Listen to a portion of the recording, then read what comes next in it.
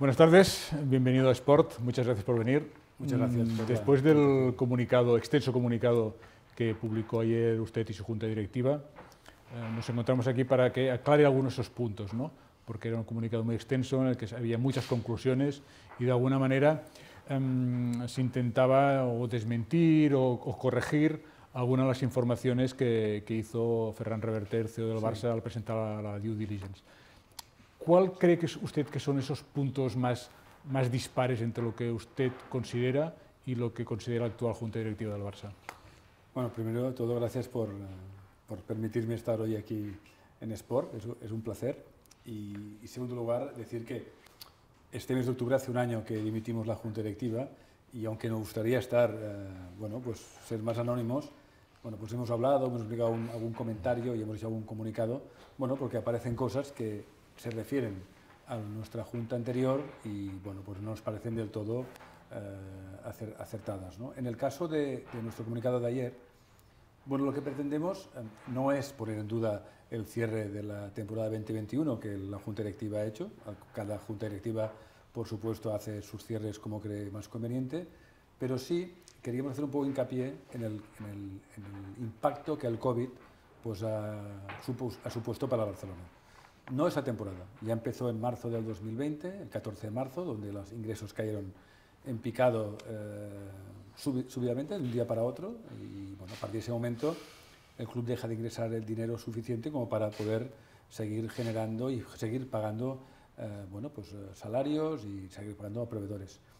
Y este impacto, pues bueno, es lo que pretendíamos con nuestro, o pretendemos con nuestro comunicado, explicar al socio que la situación pues no es tan grave como parece ser que se dice desde el club, sino que es una situación provocada por el COVID y hacemos unos cálculos para ver cuál sería, o hacemos unos cálculos, cuál hubiera sido el resultado del ejercicio, tomando como referencia el año 19, que fue un año sin COVID, cuál hubiera sido el resultado del ejercicio sin COVID. ¿no? Y entonces aparecen, pasamos de esos 555 millones de euros de pérdida que, que anuncia la Junta, que son correctos, porque ellos, bueno, pues eh, provisionan unos eh, posibles litigios, eh, deprecian jugadores, hay unas pérdidas de, gestión, por supuesto, pero en el caso de que no hubiera habido COVID, bueno, hemos hecho el cálculo de cuál sería su, su relación sin COVID. Entonces, ¿qué hacemos es simplemente es, eh, eliminar las provisiones eh, por litigios y las provisiones de depreciaciones por jugadores, porque es una decisión que toma la Junta Directiva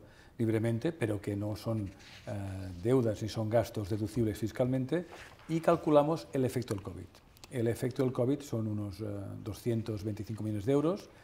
Ese cálculo es el que sacamos, es la pérdida de ingresos menos la reducción de gastos que se ha hecho el club, y sale esta cifra. Por eso, restando de 555, restando las, las, los efectos COVID, menos las provisiones y depreciaciones, eh, bueno, pues obtenemos que el la pérdida fiscal hubiera sido de 50 millones de euros eh, comparado con el año 19.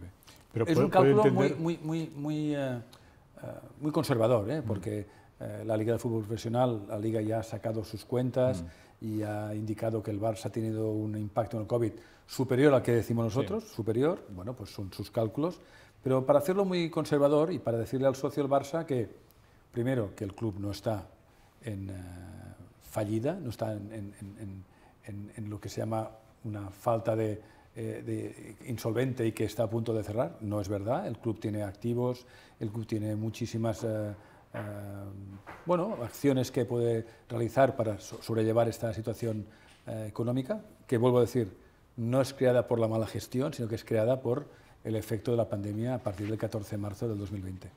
Pero usted puede entender que, que los socios, los aficionados, de alguna manera se sorprendan cuando hay dos, dos, cifras tan diferentes, ¿no?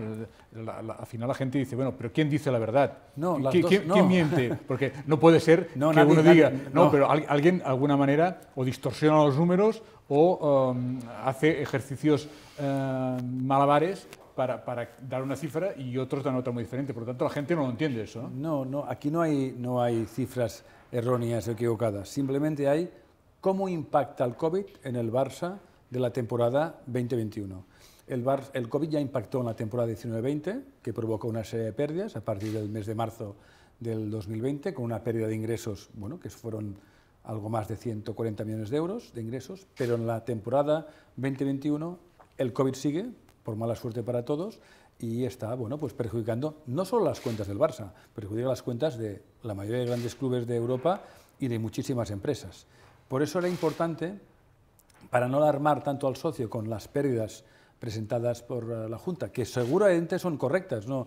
y están auditadas, pero sí decir al socio que esas pérdidas son provocadas por el COVID, en la cantidad que he dicho antes, excepto 50 millones, que sí que son pérdidas de, la gestión. Por lo tanto, podemos decir que las pérdidas de la gestión de la Junta eran 50 millones, pero no los 481 o 555 que se había anunciado. Esas son pérdidas provocadas por el COVID y que poco se puede hacer cuando el COVID. Lo que sí es importante es que a partir de ahora se empiecen a hacer acciones para revertir la situación.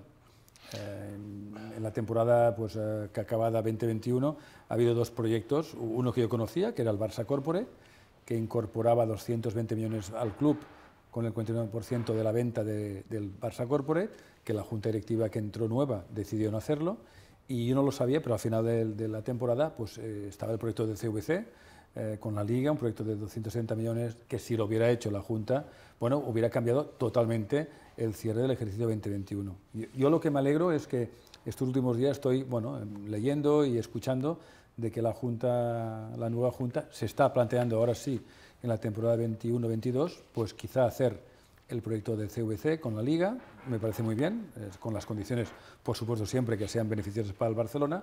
Y luego me parece muy bien también que, Barça Estudios lo hayan puesto también una parte a la venta y que pueda generar un ingreso de 50. Bueno, todo eso son acciones que hay que hacer para ir saliendo de este agujero que, vuelvo a repetir, no tiene solo el Barça, lo tienen la mayoría de clubes eh, europeos, pero nosotros tenemos una, digamos, ventaja, que somos una asociación, pero una desventaja en este caso, y es que los accionistas o los socios del Barça no vamos a poner más dinero eh, como hacen otros clubes, porque al final cuando ves lo que hace la Juve, lo que hace Atlético Madrid, lo que hace pues, el Liverpool, el Arsenal, eh, PSG o City, son clubes que o Inter que han perdido también mucho dinero durante ese ejercicio por culpa del COVID y ¿qué hacen sus accionistas? Bueno, pues amplían capital para volver a hacer el equilibrio patrimonial enseguida, cosa que el Barça, por ejemplo, en la Liga tenemos un ejemplo que es el Atlético Madrid, ¿no? ha tenido unas pérdidas enormes, pero lo han bueno, arreglado pues, los accionistas del Atlético Madrid, pues la familia Gil, la familia Cerezo y, algún accionista nuevo, pues han puesto, creo que son 180 millones de euros de su bolsillo. Perfecto, situación eh, equilibrada. En el Barça no lo podemos hacer, eh, y tampoco lo recomiendo yo que lo hagamos los socios. Al contrario, hay muchos activos que el Barça puede utilizar para revertir la situación bueno, con relativa facilidad. ¿Qué piensa usted cuando mm, tanto el CEO del, nuevo CEO del Barça como el nuevo presidente del Barça dicen por activa y por pasiva que su gestión ha sido nefasta, que ha llevado al Barça a la ruina que, por culpa de su gestión el Barça está en estos momentos.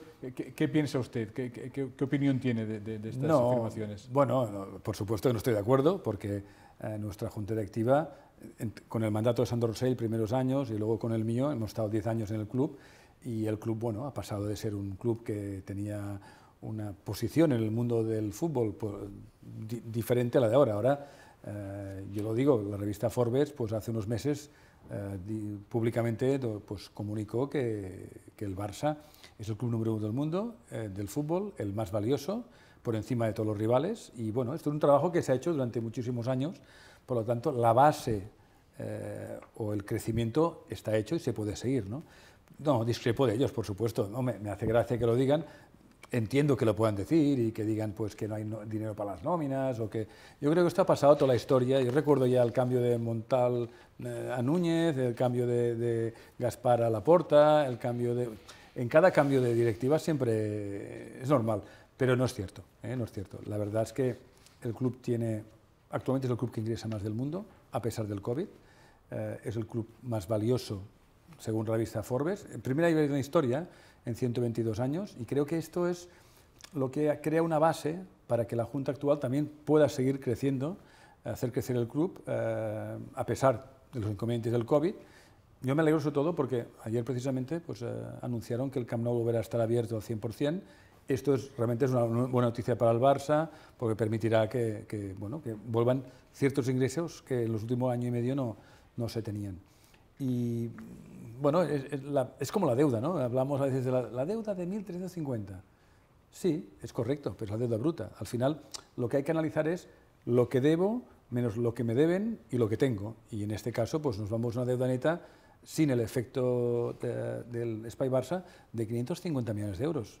No hablamos de 1.350. Está bien como cifra, el bruto, pero no. Pero vamos a, vamos a para los, los analistas económicos, ellos miran la deuda uh, financiera neta, en este caso ajustada a la SPY Barça. Por eso los bancos pues, no tienen ningún problema en financiar al Barça, uh, porque saben que tiene un problema puntual en estos momentos desde hace meses por la falta de ingresos y los bancos saben que en el momento que desaparezca el COVID volverán a incrementarse los ingresos del Barça, volverán la situación que vivíamos uh, prepandemia y se volverán los préstamos. Pero ahora hay que ayudar al Barça y yo, quiero decir una cosa que a veces lo digo muchas veces en cenas con, socios que he ido del Barça, les digo, a ver, que nosotros hemos sufrido la pandemia. Desde el 14 de marzo hasta octubre del 20, que dimitimos, tenemos muy claro lo que es la pandemia, cómo afecta al Barça o cómo afecta a la mayoría de empresas. ¿no? Eh, por lo tanto, la Junta que entra ahora no lo tiene fácil. No, no, porque no lo tenemos fácil y hay cosas que están haciendo, eh, bueno, que hagan más, porque cuanto antes revirtamos la situación, antes podremos volver a ser competitivos. En un mundo donde los equipos de la Premier League, pues eh, claro, como ellos son, tienen accionistas, han puesto dinero y han aumentado capital, su situación ya están en equilibrio actualmente, cosa que el Barça, pues podemos tardar un tiempo todavía.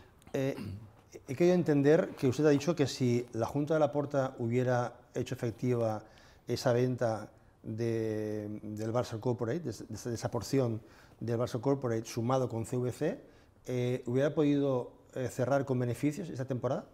Sí, posiblemente sí. el, hecho de que el Barça Corporate generase como mínimo un ingreso eh, de 220, de los cuales la mitad podía ser atribuido a beneficios del club y luego CVC, depende cómo eran las condiciones, yo no las conozco detalladamente, pero al menos tesorería hubiera tenido el club para hacer alguna operación y seguramente el el resultado hubiera sido positivo o prácticamente positivo. a usted y a su Junta se le ha criticado muchísimo el, volumen de la masa salarial, que está disparada, y ha sorprendido que el informe que hizo la Liga dijera que salvo una temporada que se pasaron un poco, siempre han estado dentro de los ratios. ¿En qué, quedamos? ¿Sí o no? Porque eh, ha, habido mucha literatura, mucha tertulia con ese tema. Eh, la verdad es que eh, parece ser que, que que, lo que cobra la, plantilla de fútbol eh, profesional es muy elevada, ¿no? Sí, a ver, eh, aquí todo es verdad. Es decir, durante muchos años el club, el Barça, hemos ido creciendo en ingresos, hemos sido el club en el mundo que hemos crecido más, hemos llegado a liderar, lideramos actualmente también el nivel de ingresos y lo que hacíamos siempre es que asociado a esos ingresos, un porcentaje de los ingresos, entre un 65% y 70%, era para salario para jugadores no solamente de fútbol, de fútbol, de baloncesto, de hockey patines, balonmano, fútbol femenino y, fútbol sala. ¿no? Para los equipos profesionales, pues una parte de sus ingresos, bueno, una parte, de 65 a 70%. Y esto siempre lo hemos llevado al límite. Es verdad que siempre hemos llevado al límite, es decir, si el límite eh, era un porcentaje fijado por la Liga o por la, UEFA, pues hemos siempre dado el límite. ¿Por qué? Porque queríamos mantener el talento, queríamos tener los mejores jugadores y queríamos también que fuesen partícipes que los éxitos económicos del club también son gracias a que los jugadores también, evidentemente, ayudan a, incrementar los ingresos.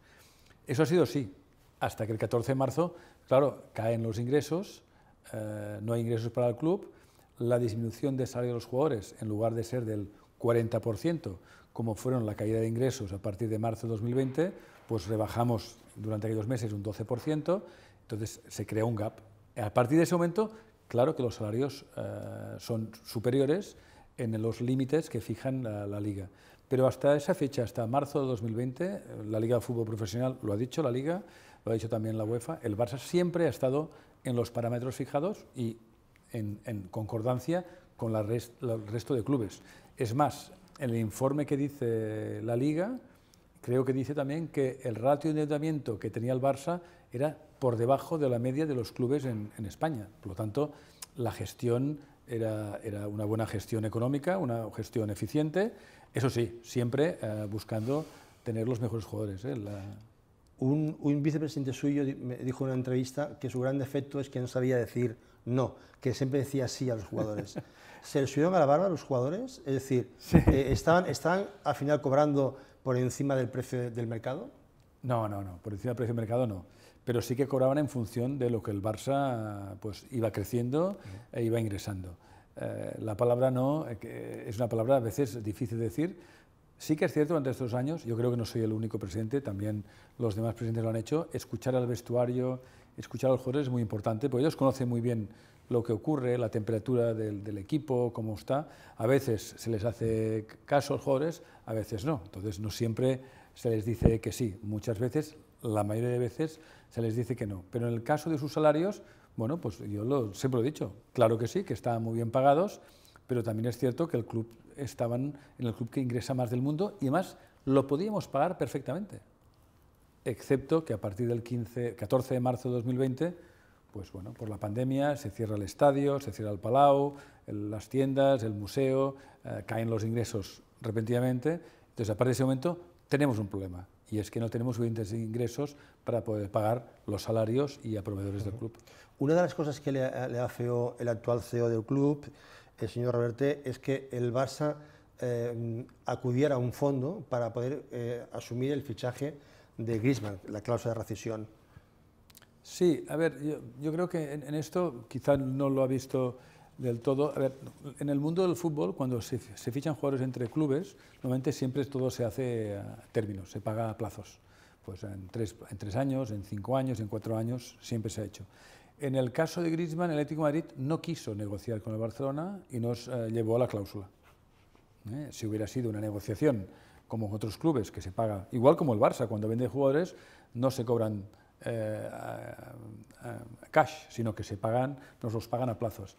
Pues hubiera hecho una negociación, pero el Atlético de Madrid exigió el pago de la cláusula eh, entera. Entonces, bueno, el Barça lo que hizo simplemente es, pues fue al mercado financiero y, buscó no, sé qué entidad es, que prestó una, una, parte, no todo, una parte del dinero para poder fichar a, a Griezmann. Pero yo no le veo ningún problema a este tema, simplemente que el Atlético de Madrid no quiso negociar eh, el pago a plazos. ¿Usted se ha sentido vilipendiado, insultado, eh, ah, falta de respeto eh, cuando va por la calle o cuando va a un sitio? Eh, ¿Le traen un cariño o, hay ah, comentarios despectivos eh, por todo eso que, que, hay alrededor de su figura? No, no, no. La verdad es que voy por la calle y no, nadie dice nada, al contrario, algunas veces la buena gente para para hacer fotos. No, no simplemente que es verdad que, que en, en algunos momentos Sí que ha habido frases, ha habido desafortunadas en algunos medios o algunas tertulias o alguien ha dicho alguna manifestación, bueno, que han sido, bueno, pues creo que no se ajustan a la realidad. Eh, decir que, por ejemplo, ¿eh? hablábamos ahora de la gestión nefasta, la herencia tan mala, ahora hablaremos de la herencia si, si, si tenemos tiempo. Bueno, pues eh, creo que son frases, bueno, que son, bueno, pues muy, muy populistas, pero que no se ajustan en, su toda realidad. Lo he dicho antes, el hecho de que el Barça, por ejemplo, el año 2020 ha sido elegido el mejor equipo más valioso del mundo, algo tiene que ver con la buena gestión económica deportiva eh, realizada. El hecho de que las entidades financieras, cuando han visto que el Barça pues, perdía ingresos, hayan dado préstamos al Barça para poder seguir con, con el club, bueno, significa que algo ven bueno en el Barça, como para ver. Nadie presta dinero, sino a cambio no ve que hay una posibilidad de que te lo devuelvan.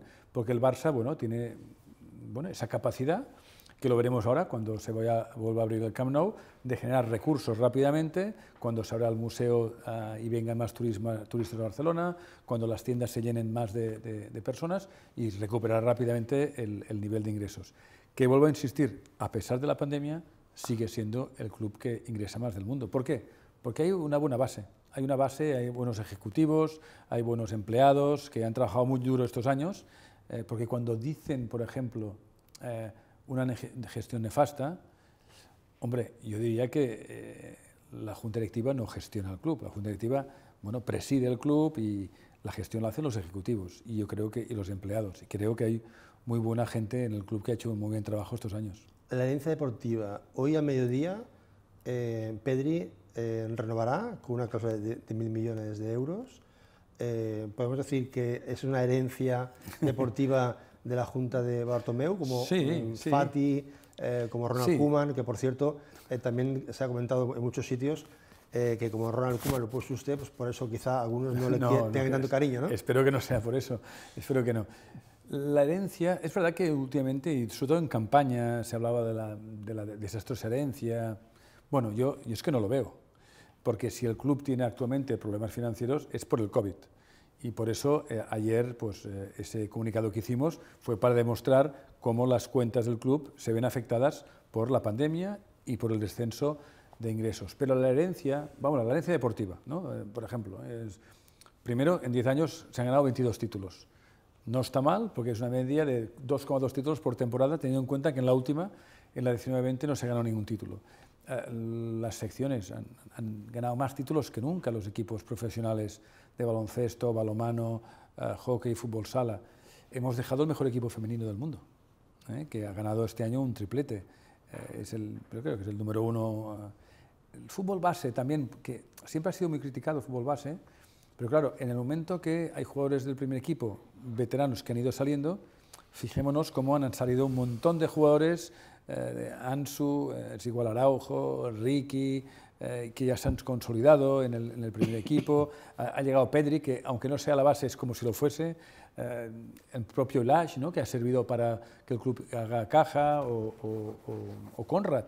Pero hay todos esos jugadores que están llegando, eh, igual Collado, Gaby, Nico, son jugadores que van a decidir el futuro, y, bueno, el presente y el futuro del club, porque tienen mucho talento. Por lo tanto, también es herencia, ¿no? el dejar una buena base y buenos jugadores, y eso significa que se ha hecho un buen trabajo en la fútbol base. ¿eh? Esto no lo hace la directiva, esto lo hacen los técnicos que han hecho un gran trabajo y es parte de, la herencia, o la herencia de, de, de, la fundación del Barça, ¿no? que cuando llegamos 2010 pues daba, servicio y ayudas a 250.000 niños, hoy en día son 1,6 millones de niños que reciben las ayudas del Barça. O, por ejemplo, la herencia patrimonial, eh, desde acabar la masía, hacer pabellones en la ciudad deportiva, eh, ampliar terrenos en, en Sant Joan d'Espí, construir el Johan Cruyff, derribar el Ministadi, dejar el proyecto Spy Barça y la remodelación del estadio, prácticamente solo hay que entrar a las máquinas, ya tenemos los permisos, ya tenemos, eh, nadie va a, impedir continuar, la financiación también es una herencia, porque Goldman Sachs ya había pactado con el Barça este tipo de, pactos en los cuales lo han explicado perfectamente estos días los directivos, en los, lo, el, retorno se hace a través de los ingresos extras que con el nuevo activo se va, va, a conseguir el Barça, bueno, también es una herencia, ¿no? porque al final Goldman Sachs sigue apostando por el Barça porque apostan por el club. Yo creo que si entendemos, por ejemplo, que en el tema patrimonial el Spy Barça es un proyecto de club, como dijimos siempre desde, la, desde el referéndum, entenderemos que da igual qué directivas hay. Lo importante es que el club vaya en, ese, de, de, en esa dirección porque es imprescindible eh, que se haga. Yo siempre lo explico a veces a algunas personas ¿no? que dicen, ¿y por qué aún no hemos empezado? Digo, porque los permisos llegaron en julio de 2020. Si hubieran llegado un año un antes, seguramente durante la pandemia el Barça hubiera estado remodelando su estadio eh, y prácticamente estaría acabado. Pero bueno, llegaron en julio de 2020 los permisos para remodelar y eh, bueno, en plena pandemia era muy difícil eh, contactar con empresas constructoras, hacer todo, todo, todo lo que es la contratación para tirarlo adelante. Pero no, no asume como un error el que se haya tardado tanto en poder eh, iniciar el Spy Barça, que se llega muy, sí. muy, muy, muy, tarde? A ver, hombre, no, no, estoy contento con los términos, los plazos, ¿eh? porque el referéndum se hizo en el 2014, en abril de 2014 se aprobó el proyecto Spy Barça, tuvimos, bueno, hubo cambio de gobierno en la ciudad de Barcelona, se fue un alcalde, llegó la alcaldesa eh, y la alcaldesa pues quiso revisar todo el proyecto otra vez, eh, cosa que había hecho el equipo anterior, revisaron el proyecto, ahí estuvimos un tiempo largo, casi dos años de revisión eh, del proyecto, luego llegaron los, los, proyectos que se analizaron, se eligió el de Niken Sikei eh, y a partir de ese momento, bueno, se empieza a pedir ya los permisos. Y aquí es verdad que con el cambio eh, de toda la remodelación del, del, área de las Corts, si se acuerdan, hace, en su momento hubo un acuerdo el ayuntamiento que todos los partidos políticos eh, de la ciudad estuvieron de acuerdo, excepto la CUP, en dar esa autorización al Barcelona, pero quiero recordar que una vez dado, la CUP impugnó los acuerdos y hasta hace unas semanas ha estado todavía pendiente de sentencia. Ahora sí que hay una sentencia definitiva desde hace pocas semanas, porque bueno, hubo esa impugnación de la CUP que retrasó otra vez. Por lo tanto, no estoy contento con los plazos, pero bueno, cuando en medio hay una situación política eh, como la que ha ocurrido con la CUP que no quiso eh, pues, aprobar el proyecto, pues se ha retrasado todo, todo. Este domingo hay una asamblea, todo el mundo coincide en señalar que es muy importante. Eh, se va a pedir autorización para financiarlo hasta 1.500 millones de euros. ¿Considera que se tiene que votar sí a, esta, a este financiamiento? Bueno, yo no conozco muy bien cuáles son las partidas que ahora hace que incrementen esta financiación, no, no sé quién es no sé cuáles son, espero que lo expliquen durante la asamblea, pero sí lo que tengo claro es que hay que hacer el proyecto Spy Barça. Es, eh, o sea, es fundamental para el futuro. Yo creo que es un mensaje que lo decíamos nosotros en eh, los últimos años. Es fundamental, fundamental. Por eso ahora la herencia, ¿no? que decíamos tan mala, pues la herencia ha hecho que actualmente tengamos ya los permisos y que la impugnación que hizo la CUP ya esté eh, solventada. Entonces ya, ya se puede lanzar. Yo eh, quiero que se haga el Spy Barça, pero también quiero que expliquen detalladamente cuál es el incremento. Eh, yo creo que hay un incremento que sí que está claro, que era el pabellón Palau Laurana, que se había previsto de 10.000, debe ser de 15.000 espectadores, esto también tiene un incremento, pero lo demás lo explicarán. Por lo tanto, el, el, Spy Barça tiene que ir adelante. Eh, otro punto mm, polémico que está... Ah, despertando muchos comentarios es eh, congelar el artículo 67, ah, el, de, el, del, eh, el del patrimonio negativo. ¿no? Sí, eh, sí este artículo 67 tiene varios apartados. Ustedes, ustedes lo impusieron en, hace unos años y ahora se quiere, se, quiere, se quiere congelar hasta volver a, a, los números mm, positivos. ¿no? ¿Cree que, que, también se tiene que apoyar esta, esta medida? A ver, yo, claro, yo quizá tengo más información, ¿no? Pero nuestra junta directiva desde el, desde el 14 de marzo de 2020 sufrimos la pandemia, sufrimos la disminución de ingresos, eh, bueno, imposible de controlar eh, del club. Te puedo decirlo del club y de un montón de empresas eh, que hay en, el mundo. Y la gestión es muy complicada y es normal que haya pérdidas. El club tiene pérdidas, como tienen la mayoría de clubes en el mundo. Eh, grandes tienen pérdidas por la falta de ingresos. Y entiendo que eh, la Junta actual tiene una, una, tarea por delante. Bueno, pues eh, no, no, es fácil en pandemia revertir los números. Yo hubiera hecho lo mismo, es decir, pedir una, una excedencia, pedir una autorización para retrasar el artículo 67, pero sí que fijaría unos límites, no de forma ilimitada. ¿eh? Yo eh, estoy de acuerdo que ahora no podemos eh, tener ese, ese, tipo de controles tan exhaustivos como es el artículo 67 porque hay pandemia, solo por la pandemia, no por nada más, pero sí fijar un límite, decir, oye, en dos años o en tres años este artículo pues queda sin efecto y a partir del segundo o del tercer año, pues ¿para qué? Bueno, para obligar a que esa reversión del, del, patrimonio negativo pues se haga de la manera más rápida. Una manera, lo he dicho antes, ¿eh? es firmando acuerdos como Barça Corporate eh, o como la venta de estudios, Barça Estudios que quieren hacer ahora, o, o, entrando con el proyecto de CVC, porque una vez la Superliga ya no está un poco en Villa Muerta, pues hay que buscar otras, otras alternativas y estas lo son para rápidamente revertir la situación. ¿Usted está a favor de la Superliga? De la Superliga? Bueno, yo, yo fui una de las personas que en el año 2016 empecé a trabajar la Superliga. La Superliga no es un trabajo del 2020, se empezó en 2016, eh, fue un trabajo principalmente realizado por la Juve, por el Bayern y por el Barça. Eh, también eh, participó el Madrid, pero sobre todo Madrid participó algo más tarde y ese proyecto se presentó en la UEFA, se presentó al, al presidente Zeferin y fue cuando en aquel momento, cuando vieron que había un proyecto muy interesante, pues bueno, mm, si vemos un poco la historia, fue cuando la UEFA y la ECA decidieron eh, explotar conjuntamente los derechos de la Champions y de la Europa League, que esto permitió que los clubes prácticamente doblásemos ingresos a partir de ese año. Al final habrá que convenir que no tienen tantas diferencias usted y el señor Laporta. Bueno, porque él también está a favor de, la Superliga. Todo lo que sea a favor del Barça y ayude al Barça siempre estaremos, estaremos de acuerdo. ¿Cree, que se verá algún día, en mm, dos, tres, cuatro, cinco años, o, está descartado la Superliga? Claro, yo ya no estoy metido eh, como estaba hasta octubre en, en, la toma de decisiones, en la mesa de, de, trabajo no lo estoy, pero es un, un producto y un proyecto muy interesante, un proyecto muy interesante, perdón, no producto, un proyecto muy interesante siempre y cuando también se respete la liga. ¿eh? Lo importante es que no la liga, las ligas nacionales tengan su papel, que debe ser importante, y luego otro papel es la Superliga eh, Europea. Los dos pueden convivir perfectamente, como conviven en el baloncesto, tanto en, en, nuestro caso la ACB y la Euroliga, y la liga es, yo creo que es fundamental que tenga también la fuerza que tiene actualmente, sobre todo porque tenemos un competidor, que es la Premier League. ¿eh? Si miramos hemerotecas, verá que yo siempre he dicho que la Premier League ha sido el gran competidor del Barça. ¿Por qué? Porque es la competición que genera más ingresos y los clubes eh, cada vez son más fuertes. No solamente los clubes de Estado, como City o PSG, pero también los demás clubes son muy fuertes y, necesitamos que, el Barça también se fortalezca. Y esto ayudaría. Y ya para acabar, eh, Ronald Koeman fue su, última apuesta como técnico. Eh, ¿Cómo ha visto la figura de Koeman en estos, en estos meses?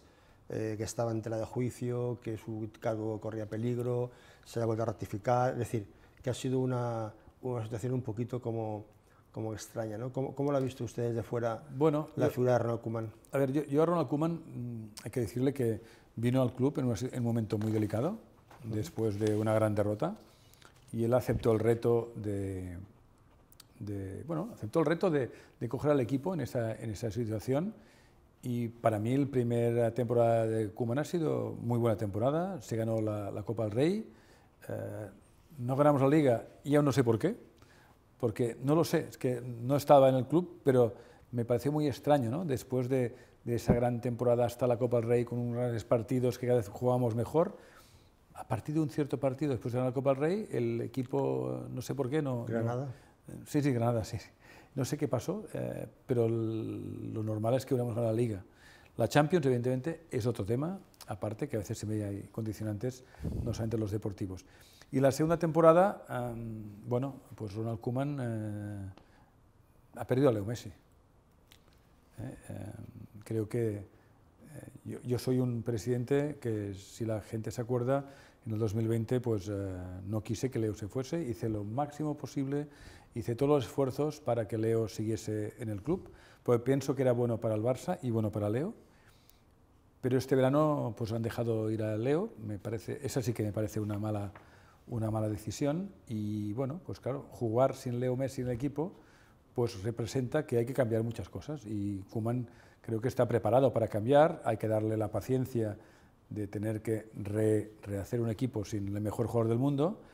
Y bueno, yo, yo creo que tenemos que comprender esa situación, pero también él tiene que saber que tiene unos jugadores eh, con una capacidad muy buena, tiene, tiene, mucho talento los jugadores que hay, jóvenes, con mucho talento y, y, hay que exigir también, por supuesto, eh, títulos. ¿eh? Yo, yo, siempre digo que esta temporada hay que exigir la Liga y la Copa del Rey, lo tengo clarísimo. Luego la Champions, como digo siempre, es, otro, es, otro, es otra historia pero la Liga y la Copa hay que lucharlas porque, porque tenemos equipo para ganarlas también.